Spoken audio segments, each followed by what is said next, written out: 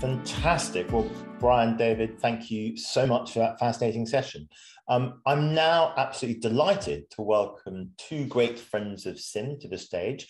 We're going to start by hearing from Jim Spaeth of Sequent Partners, who's going to provide an update on CIMM's identity resolution data matching study, which is turning into a really fascinating piece of work.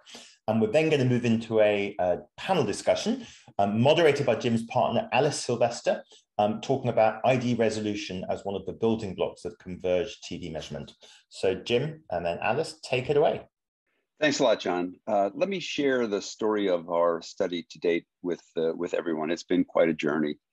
Uh, let me begin with the question, why are we doing this? Right. So everyone knows about the importance of data matching to both advanced audiences, to attribution modeling, and to um, lots of other things in our ecosystem, but we'll just focus on those for the moment. And that role requires matching viewers to outcomes. In this little example here, we've got auto intenders. And obviously, the two data sets don't overlap perfectly. Nothing in our world overlaps perfectly. So there is an intersection between the two data sets.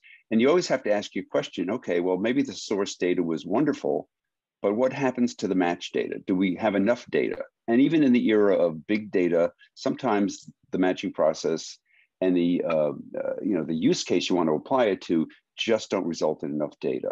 The other question is, has the data been changed? Has the data been biased in any way through the process? And that's that's a question that, that I have seen no evidence uh, about to date.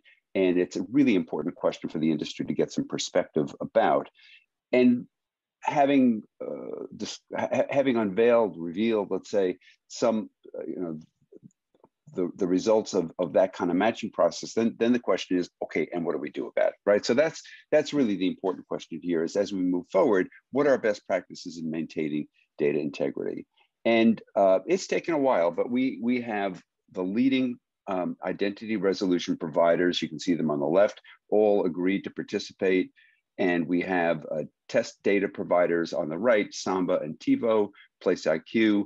Um, we have a little wrinkle going on right now with the demo data. So for, mo- for the moment, that's that's TBD. But uh, but what are we going to do with these these data sets? It's pretty simple. We're going to match data, and then we're going to compare the original data to the matched data. What's the match rate? How much data have we retained? And do the has the data been changed in any way, biased in any way that's significant and, and material after the match. And that's going to involve a series of eight matches. You, I won't walk you through them all. We're, we're going to take step by step, piece by piece to understand as one data set is matched to another, what happens to it in that process. So we've had a pre-phase, right? We're not ready. We're, we're, we're still lining up all of the pieces that we need here. Uh, but we have had um, in-depth interviews with all of the identity providers and in that process, we've we've learned we've learned a fair amount about the, the matching process. So that we've learned some of the providers will start with households. Uh, often that those are identified with a postal address or a zip 11 um, and then devices in the household like a smart television connected tv are associated with that household then persons or in some cases masked persons or personas are associated with the household. And then uh, the devices of those people like mobile phones get matched to the household. Others will start at the device level or the even the person's level. So th- there may be email as an identifier for for example and then they build up to households.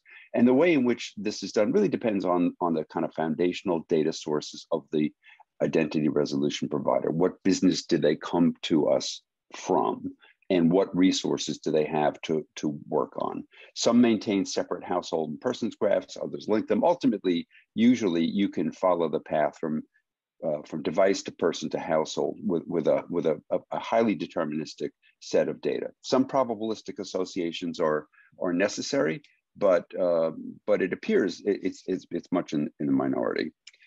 Um, we've learned that ID, uh, identity resolution providers assemble as many match keys as possible, filling in gaps, and they draw on many, many data sources. We've got a list of, of match keys here. And it's pretty much everything you've ever worked with or thought about. Um, there's a quality assurance process in each one of these. Uh, as data becomes associated with their graph, it's checked every way imaginable. And uh, when there's a high degree of certainty, it's associated with the household or the person or the device in that graph. And when not, it's often often rejected. Privacy is their top priority in, in going through these processes. We've also learned that IP addresses aren't fixed. Uh, they may be purposely cycled or uh, routers get rebooted uh, and things like that. So the freshness of IP address is critical and everyone's well aware of that and has their eye on it. We're also aware that street addresses may not be 100% accurate due to move rates. So, you know, there, there are issues that we want to explore here.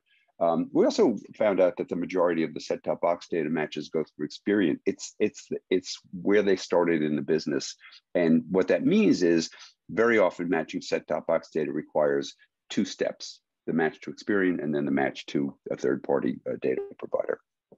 Oh, I'm sorry, identity provider. So where are we right now in this process?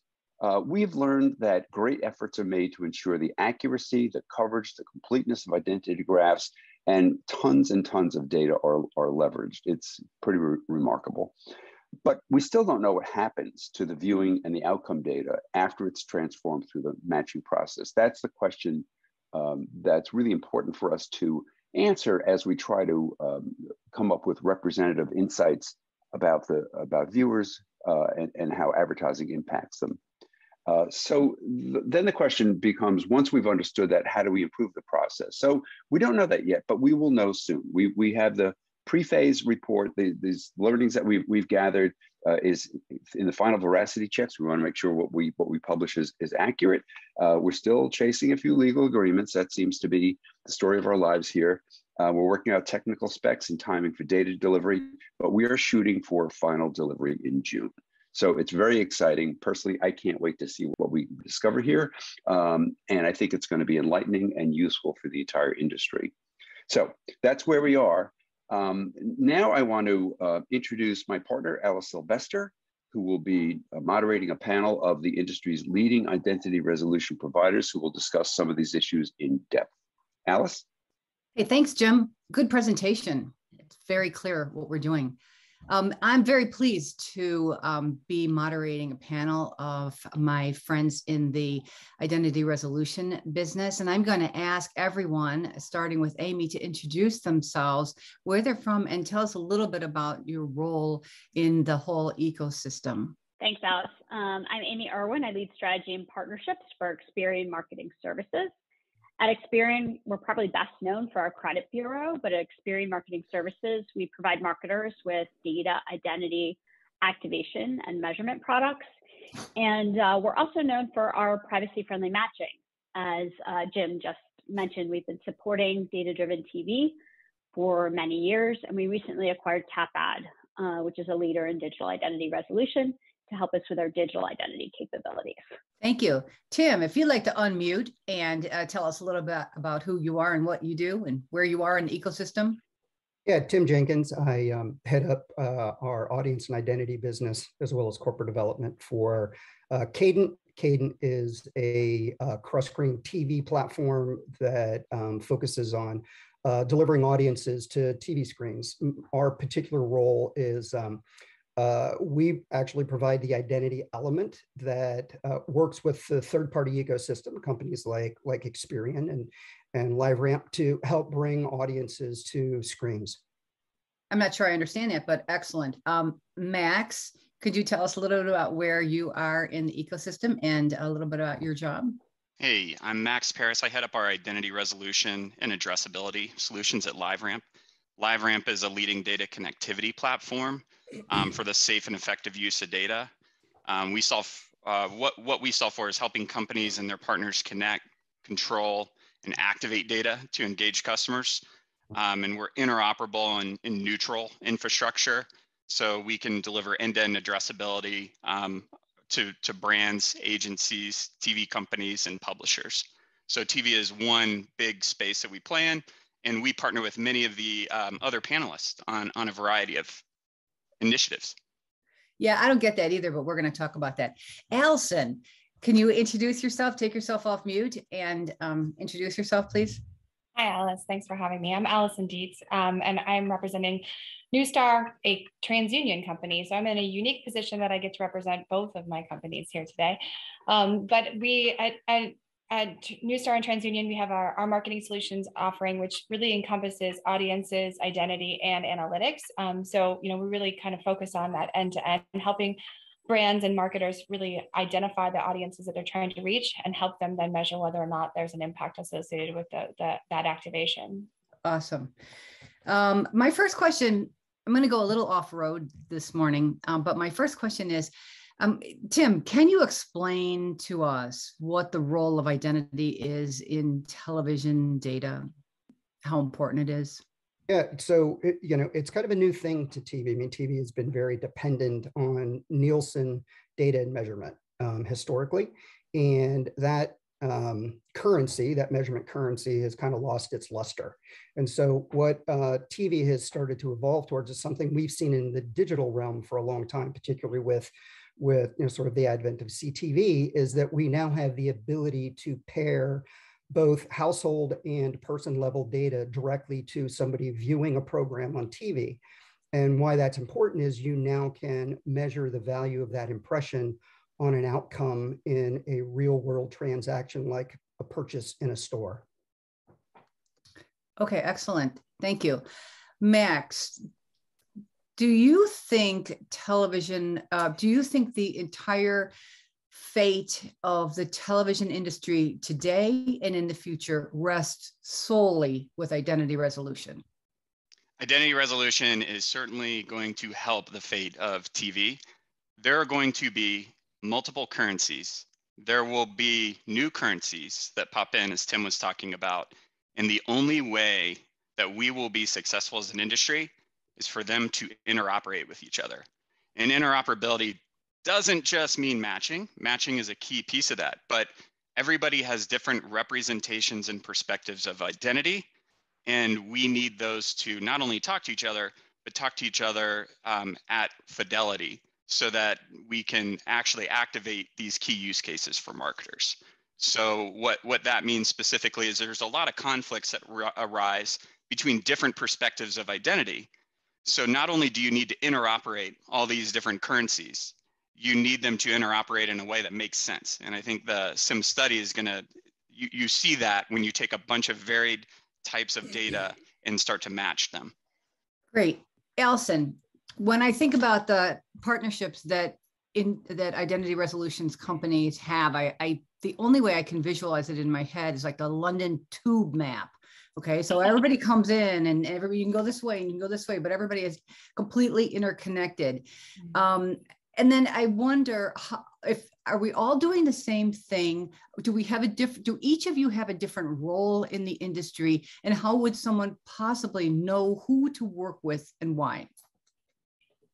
That's a great question and a loaded one a little bit. So partnerships do matter a lot in the in the world of, of TV, but not just TV, beyond TV as well. Um, as we think about you know data deprecation and privacy and the rise of privacy regulation, it's important for us to be able to you know for marketers in the in the industry to still be able to both you know reach those audiences across you know the different platforms and and and mechanisms mediums for, us to reach our audiences, but also measure accurately whether or not that is actually driving an outcome. So, you know, I think there it will continue, as, as Max was sort of suggesting, identity is going to continue to play a role there, being able to connect the dots across those different publishers and platforms um, and those different mediums. And it's going to continue to be even more important, especially if you look at, you know, consumer behavior, which is really what's driving this, is that change in consumer behavior and way in way consumers, you know, consume video content that's what's really try- forcing us to think about how do we do this in a way that's efficient and effective um, so that we're reaching our audiences in a meaningful way not you know inundating them with repetitive messaging. Um, so i think that that's going to continue to be important. You know to answer your question a little bit more specifically in terms of looking at you know the different providers and the differences i think it's important to really understand you know obviously jim presented a little bit around match rate. Match rate is part of the equation. You know we believe it's an important thing to continue to monitor Um, but you know, I always tell this example. We have an, um, uh, one of our heads of product is his name's Ryan Engel. He sits in our New York office. We actually have a second employee with the exact same name. And if you really think about match rate and throwing a bunch of identifiers in, you would see the same IP address, the same name, you know, similar email, same company. You might match those two individuals together, but they're two separate households. So you really have to think about the quality of the match in addition to just the match rate to make sure that you're getting, you know, a really impactful, um, you know, audience reach because those are two different households, two different buying patterns, and you want to make sure that you're, you know, you're thinking about what is that what is the what is the um, the company doing in terms of identifying that match but also you know what data are they throwing away what are they using to kind of delineate between those two humans awesome Aimee um, Experian has a kind of a unique role in this industry. It seems like an awful lot of television data is matched through Experian first. How did that come to be? And how do you know that the role you're playing um, is, uh, is correct? How do you know that the data that gets produced going through your system is correct? Yeah, no, that's a good point. So we have uh, we've played a critical role. We certainly um, have integrated with all the MVPDs and all that underlying subscriber data. Uh, so when you think about how TV has traditionally been targeted, it's been targeted at the household level, and that's linked to um, you know a postal address and a household. And we've linked uh, and matched that in a privacy-friendly way for many years. And what that allowed us to do is connect all that data, that subscriber data, to other data sets. Uh, whether that be Experian data, where obviously we have a lot of consumer data, or it could be other third party data, or it could be marketer first party data, or it could be connecting to the rest of the industry. And a lot of the folks, um, you know, they're on this call, whether whether it's measurement providers or other um, critical players in the ecosystem that allow for TV to be um, allow for TV to be both data driven um, as well as measured and allow for that analytics and optimization that ultimately has happened in the online world for many years, um, but is only uh, you know sort of sort of slowly come to um, you know to the vast majority of the, the television world. Excellent. I also want to encourage my panel to uh, ask questions or talk over each other. That's always much more fun than me just um, firing questions. However, before y'all do that, let me get this next question in.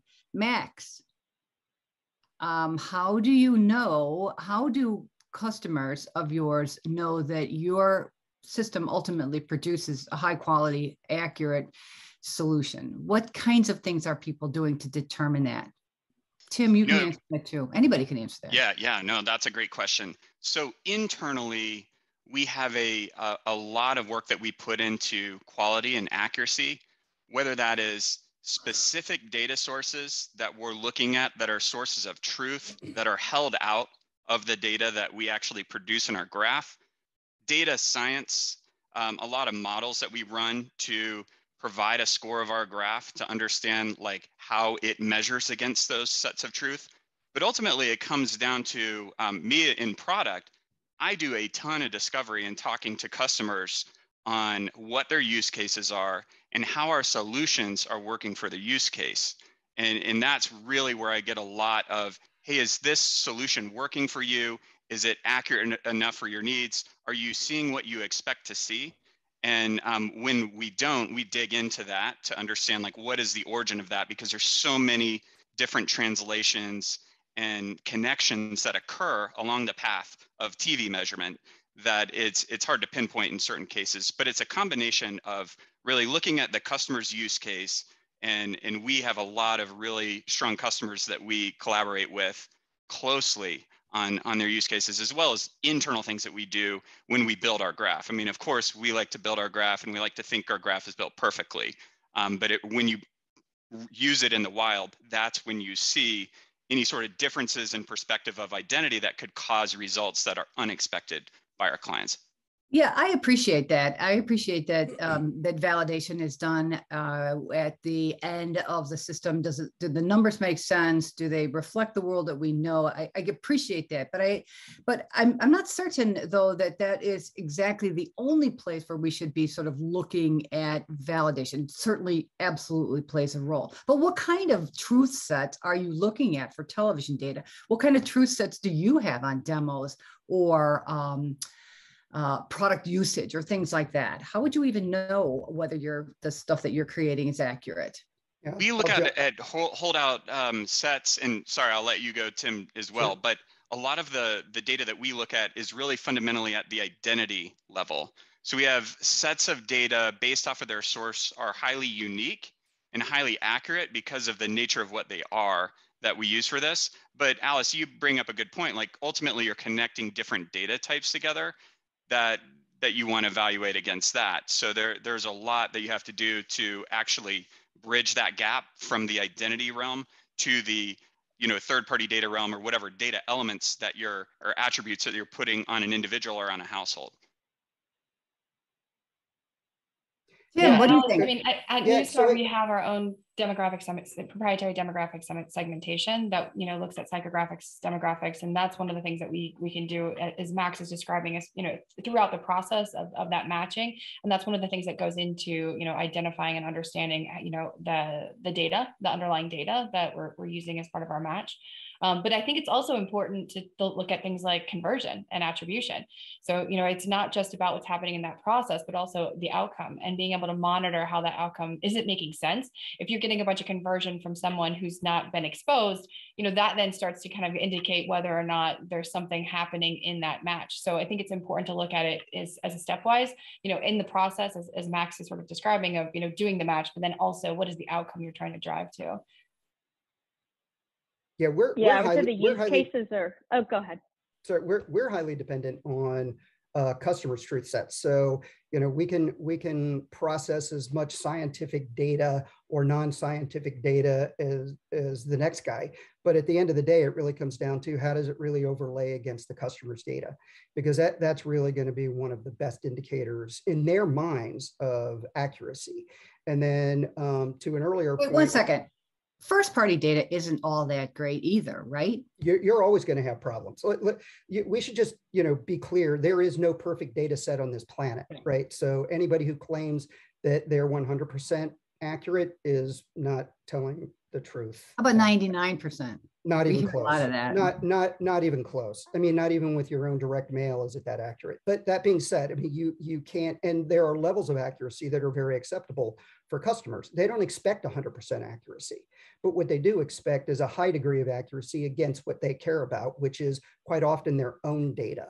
So, you know, we're we're very highly dependent on matching directly against the customer's data and allowing them to test it. I mean, we're pretty open kimono and allow them to get under the hood and look at look at the data to make sure they understand it. And, and yeah, we've actually found situations where their data is imperfect, and, and I'm sure everybody at, at, on this panel has done the same thing. Actually, corrected customers' data for them. Right? We all provide some degree of data hygiene for our customers which only then helps really kind of perfect that data set going forward. Aimee. Yeah, that's right. Uh, yeah, I was just going to comment on a couple of things. One is that use case is really important.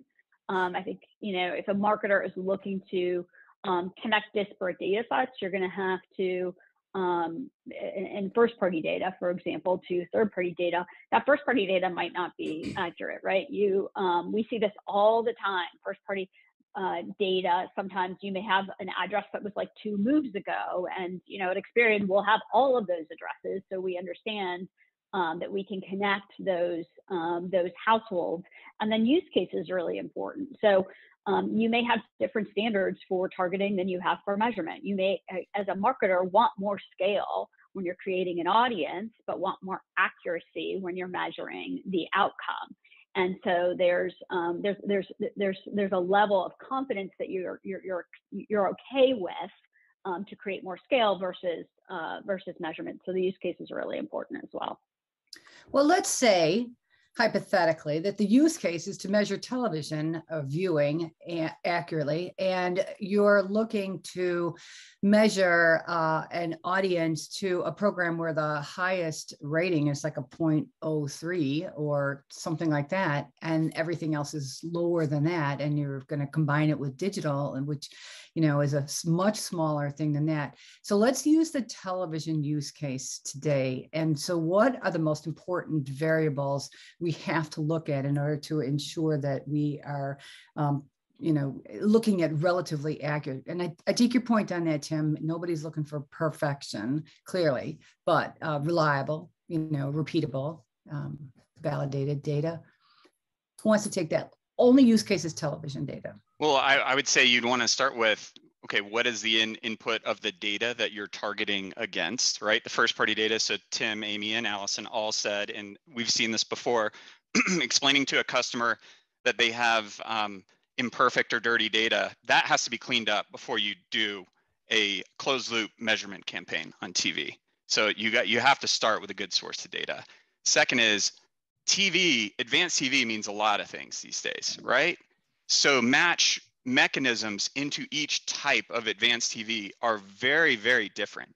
Households are very different depending on what type of TV you're looking at. If you're doing linear, OTT, or CTV and you're going to get different quality of matches based off of those different channels within TV. So you can have a very strong match if you're doing a postal based match on a subscriber file, you know, based off of a, a, a ton of a data spine that you have with a lot of historical consumer address data. When you're going into CTV and OTT, you're you're not going to get that strong signal. There's going to be fewer authenticated events that you can use for that signal you're going to be really heavily reliant on IP. So the data science mechanisms for IP look vastly different than that of you know a linear uh, connection. So those are like two things I would call. There are many more um, when it comes to how you execute that campaign. But from the identity perspective, what's your source of data in? How clean is it? And what are like the specific channels that you're looking to measure on in TV? Because it can mean a lot of things. Advanced TV means a lot of things these days. Yeah, with our and, customer, and, with our customers, one of the biggest concerns they have, and, and Max is right on point there, is deduplication of those audiences because the the TV viewer is so transient in nature, right? You'll, you, I, I'm a classic example, right? I am a cord cutter's cord cutter, and yeah, I will start out watching an Ohio State football game on the big screen and carry that onto my mobile phone out to the barbecue and and out, you know, sitting in the parking lot waiting for someone to come to the car. And so being able to deduplicate those audiences going from what was a household viewership, don't know how many people sat in front of that screen, to now somebody's viewing that same program, we think from that same household, but on a different device. Was it the same person who was sitting in front of the screen? So deduping those audiences is actually one of the trickiest things in TV because you can go from a household viewer to an individual viewer in a matter of in a matter of seconds.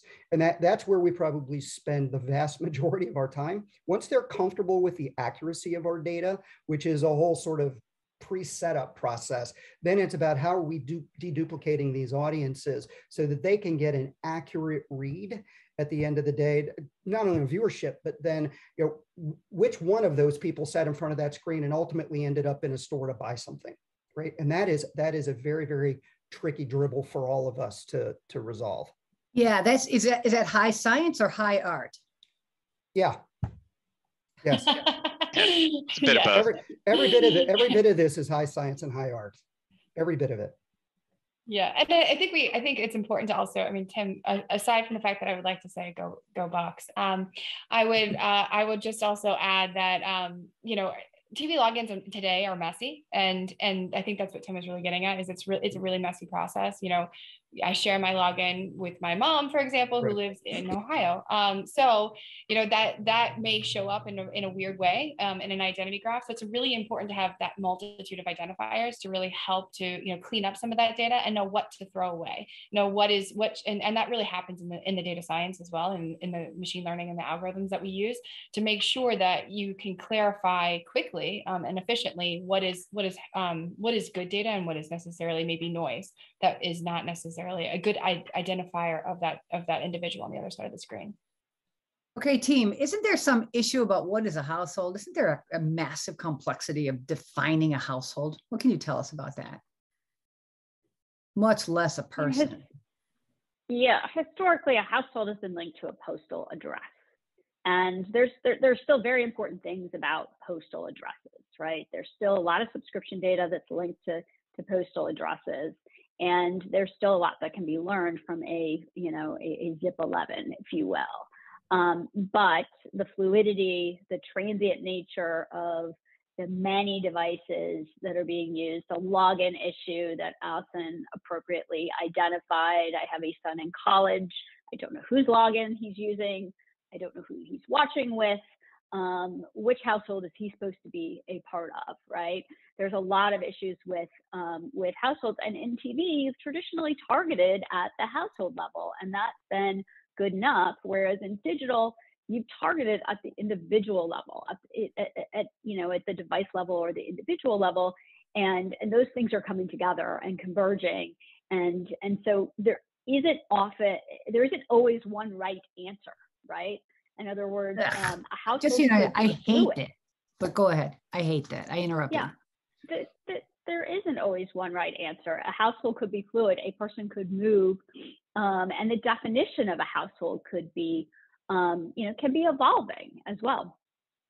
Yeah, we find like one of the easiest ways to identify a household right now is, is a cell phone plan. So that family plan, I think Aimee, that would be like a great way to kind of think about you and your son. You he's you're probably still paying his cell cell phone bill, um, I'm assuming. Um, but even that is changing. You know, younger consumers may still be on the family plan, even though you know, for example, I have a 32 year old brother-in-law who's about to get married. Is probably still on my in-laws plan, but shouldn't really be. So I think that it's it's changing from a generational standpoint. Um, so that's why our industry has to continue to, to evolve and be up to date on, you know, what are those key identifiers? And and again, having a multitude of of of choice to ensure that we clean up, you know, as things evolve. That's a little bit of the art you're kind of describing is understanding how the market is evolving, how consumer behavior is changing. How do we ensure that we use the right identifiers to help, you know, guide our, our algorithms? Yeah, my 42 year old sister is still on my parents' plan. So, um, there you go. Great example. I, I, I, understand the challenges there as well. It should be a um, rite of passage, right? Oh, here you go. I think the the key there is like you're you have to use more signals today yeah. than what you used yeah. to use to create this household formation because it's changing and it needs to be configurable based off a use case. So digital households for TV for certain types of TV could be very different than terrestrial households or like address based households for other types of TV. And they have to work together because uh, marketers don't really care about those differences. They need results at the end of the day for the use case. Will we ever get to a moment where this has been set and settled that we have the uh, the um, pieces in place that work all the time and we can all say oh yeah that's how we measure all sorts of television.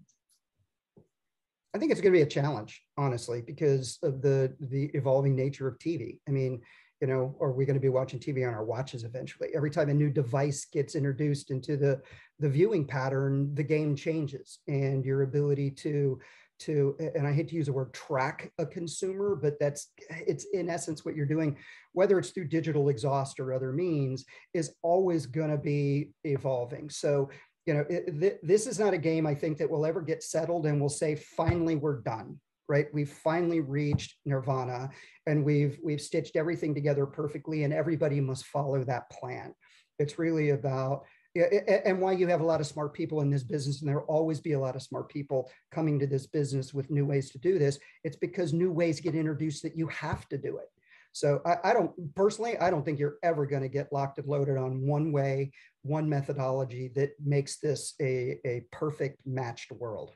Totally agree. Between the evolving ways to consume tv and the evolving privacy landscape yeah. out there those two things alone will prohibit one standard that gets used for a long time, right? It's always going to be evolving. Yeah. Let's talk about privacy for a minute. Um, is the industry where it needs to be uh, protecting consumer privacy? Is what kind of work is left to do on that, and and how can we convince legislatures that that we got this?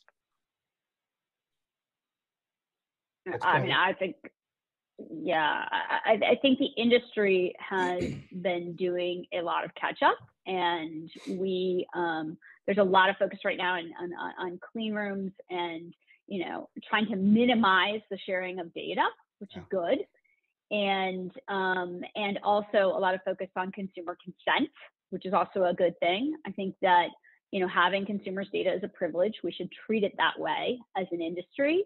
But we should also understand that there's a value exchange. And the consumer is benefiting from having um, some information known about them in the form of um, customized content, customized advertising, and, um, and, and, just efficiency in general. And I think um, I don't think the industry's done a particularly good job explaining that value exchange um, to the consumer. So I think we do have we do have a ways to go, and um, uh, but but but there's a lot of eyes and there's a lot of attention on it, and, and I think and I think we're moving in the right direction. How would that work? How do you see like an ad campaign telling the consumers to, um, you know, trust us, or how would that work? It's it's education. It's education. Yep, it's absolutely education. There's a lot of free content or a lot of free tools that are supported by advertising and um, and, and consumers have become accustomed to that. But um, but but you know, some uh, understanding of who a consumer is at some level is, is is required for that advertising to be effective.